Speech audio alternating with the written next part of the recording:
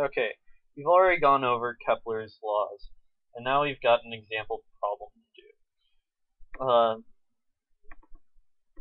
for this, we are given the speed at which Halley's Comet uh, is going when it's closest to the sun, and that's four, uh, 54 kilometers per second, and its closest approach is 0.57 astronomical units. Um, and we're given the speed that it's going when it's farthest away from the sun, and that's 0.879 kilometers per second. Now, we want to be able to find the uh, time that it takes for Halley's Comet to go all the way around. And so the easiest way to do this is to figure out what the distance from the sun to Halley's Comet is when it's at its farthest point, uh, and then add that to uh, the distance at the first point, divide them by 2, and then plug that into Kepler's third law. So let's get started. Now, with Kepler's uh, with uh, Kepler's second law, we found out that uh, the amount of time that uh, the amount of area that is swept out by the planet to the sun, that line, uh, and any um, amount of time will be constant no matter where it is around. So basically we know that if the comet is going this far, uh, this fast, it's this far, so v sub 1 times radius sub 1, it'll be equal to v sub 2 velocity over here times radius right here. Now, if we divide by v sub 2, we get what we would need for r sub 2. So let's a calculator. And then punch in these numbers. So there.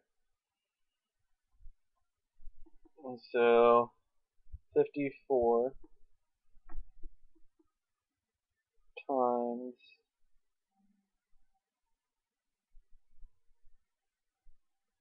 point five seven. Oh, right. Come on, calculator.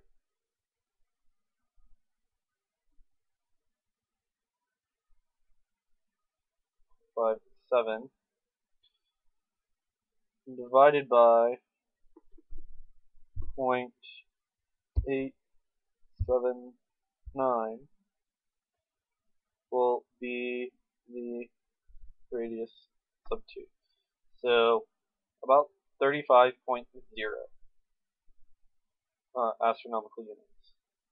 So 35.0 A.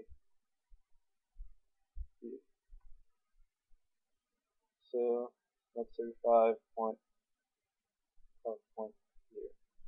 Now we just add these two distances up and divide by 2. So we have 35.6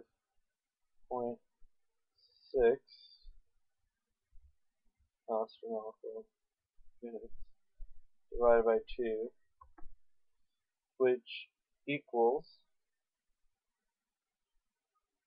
17 point eight astronomical units.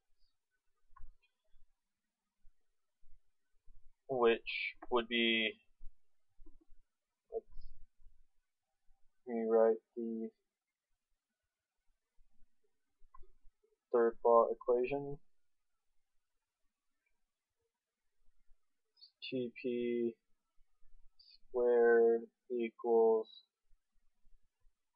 some constant times radius cubed, and the constant, when we're talking about the sun, we're using astronomical units in years, uh, is 1. So, we'll have, let's say, uh, TP is equal to the square root of a cubed. Well, times the constant, but the constant equals 1. So, number wise, we then have, okay, 17.8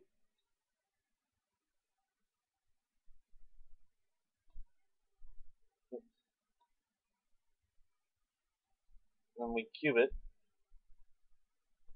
and we square root that. And that equals 75.1 about it. So, the period of rotation of Halley's Comet equals 75.1